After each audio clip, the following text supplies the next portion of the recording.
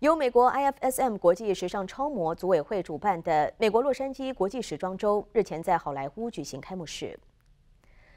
二零二二美国 IFSM 国际时装周以知名原创设计师及品牌时装大秀、IFSM 全球少儿时尚新星大赛等一系列主题活动，围绕时尚设计、文化艺术等核心，打造服装时尚趋势高端发布平台，提升服装品牌市场影响力，鼓励更多的原创设计师、品牌等参与。美国 IFSM 国际时尚超模主席。Michelle Lee 女士表示，IFSM 国际时装周创办已有十五年历史，已经成为了洛杉矶时尚产业一年两度举足轻重的行业盛事，树立广泛的平台声誉和行业地位。接下来我们会发掘新、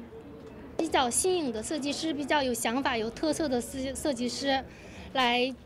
帮他们推上更高、更好的舞台。同时，我们也塑造一群比较可爱的小孩子，他们有梦想、有追求。来上舞台锻炼他们自己。当天也是2022美国 IFSM Fashion New Star 即 IFSM 全球少儿时尚新星洛杉矶大赛。来自美国洛杉矶不同族裔的38位时尚新星角逐出冠军、季军与多个单项奖。来自美国的知名晚装品牌 GM Couture、Jim l i n、非洲印花成衣品牌 Socan Rose、泳装品牌 Oh Lala Swim、洛杉矶新锐女装系列品牌 Fashion Victim Rehab。及美国著名设计师 Randy Taylor 分别在 IFSM 上独家推出他们本年度第一个童装系列。未来 IFSM 国际时装周将持续携手国际品牌，助力打造特色时装的首发平台，持续为推动原创设计国际交流融合贡献力量。凤凰卫视宋城洛杉矶报道。